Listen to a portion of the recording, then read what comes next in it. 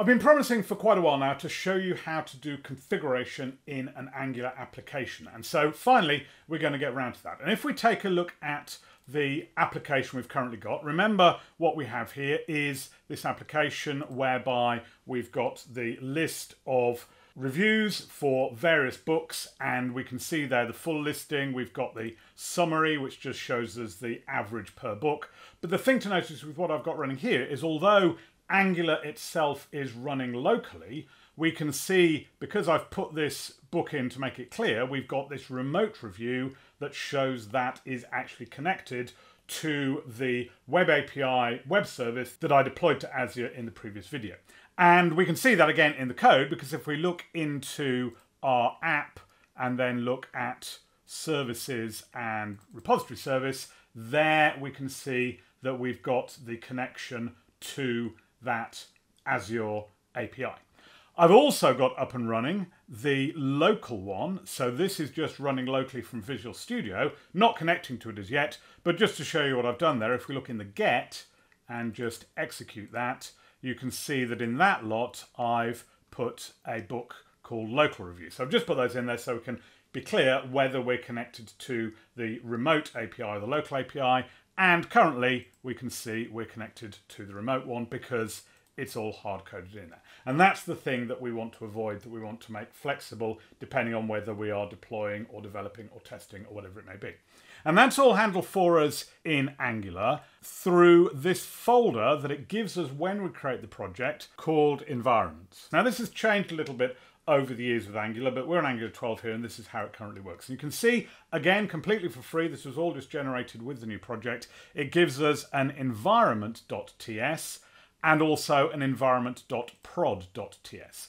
And you can see, apart from a load of comments, the code is the same in both of those. We've got this object called environment and it's got a field called production. In the case of prod, we set that to true.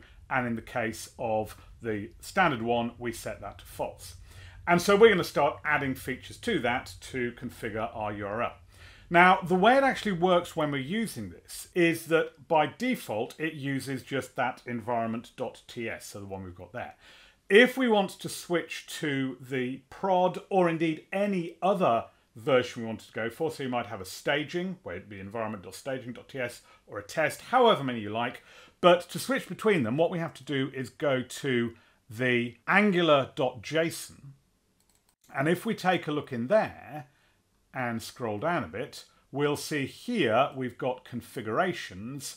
And you can see it's just defining that production. It gives a few tuning options, not going to worry about those here. But then the main thing it does is it does this file replacements and it swaps in the prod.ts for the basic TS. So whenever we build this or run this, if we specify a particular configuration other than the default, it will replace the default with whatever we've specified. And so if we wanted to do things like staging or whatever, there we've got production, there we've got development, we could add a staging on top of that, whatever we wanted to do. So those are the changes we'd have to make if we wanted to add further environments, but we're just going to stick with the two and change the way they behave. And so what we need to do in those two files, we need to add the URI of the backend.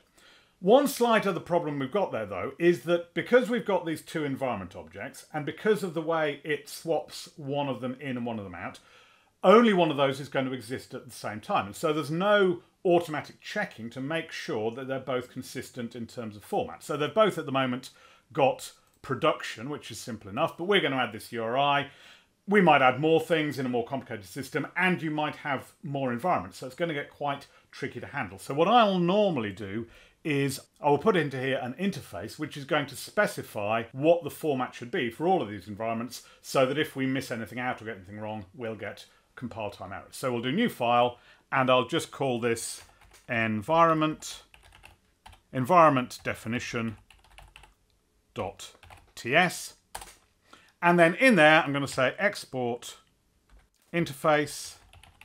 Just call this environment. And then in there, we've got to have what we've got already, which is just production as a Boolean. So production colon Boolean. And then let's just call this books URI, which is going to be a string. And then let's make sure that those two environment objects implement that. So we'll go in here and we'll say colon environment and it will pick up the import for that. And you can see it's now giving us an error because we haven't got that books URI. But we'll come back to that. We'll do the same thing on here. And we get the same error. And so let's start it in here. So we'll just put in comma. We'll get some IntelliSense, so that's helpful. And then this one, remember, is the production environment. So actually that's what we're currently configured for. So if we go into the service here, and if I just grab that code and then pop it in there, but then the thing I'm going to change slightly, I'm not actually going to have the controller name on the end. And there's two reasons I do that. One is book review, the controller name is the same in both configurations, so it would just be duplication, which would be unnecessary. But also, we don't know in the future, we might add other controllers onto the same web service, so we might as well have the flexibility for that rather than having to keep changing the configuration. So that's what we're going to have for production. And then for environment, we're going to have to put it in there. Again, books URI. But in this case, I will steal it from the Swagger. So remember, we're going for localhost 5001 in this case. That may change, but then you'd have to change that in the configuration. And so if we pop that in there, but again, just have the root of it. So that's now set us up the two of them the way we want it. And let's just give that a save. Shouldn't have any effect because we're not reading that data. But then the last thing really we've got to do is go back into the book review repository and we can delete the whole of this. Well, actually, let's just leave that bit on the end because remember I said we need to put the slash book review on. And so then to put this all together, I'm going to use string interpolation. So we need to put a backtick in there.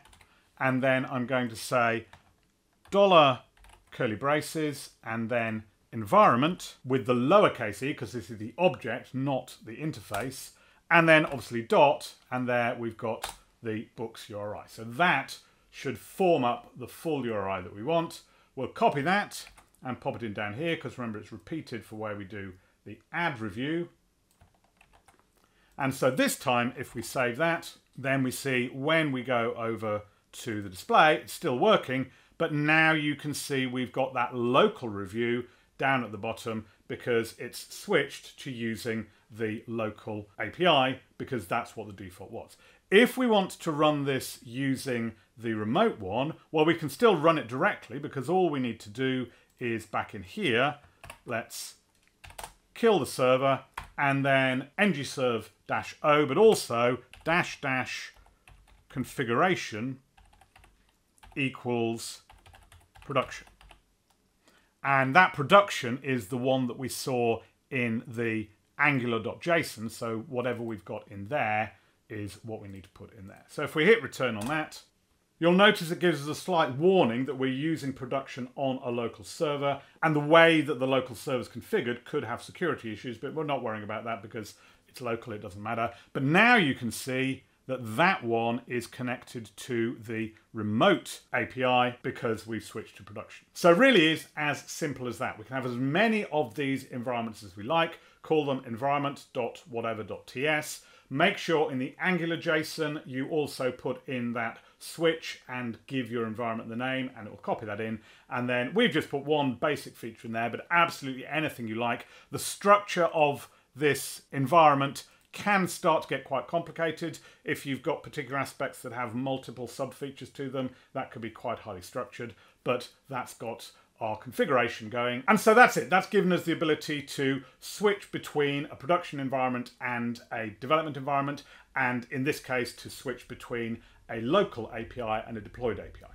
What that now puts us in a good footing to do is move on to the next step, which is to now deploy this front end to Azure. So previously we've deployed the back end to Azure, we've been using that. Now we can do the same with the Angular front end and get the full system, simple though it is, deployed. So I hope you enjoyed that. If you did, do click like, do subscribe, and I'll see you next time for deployment to Azure.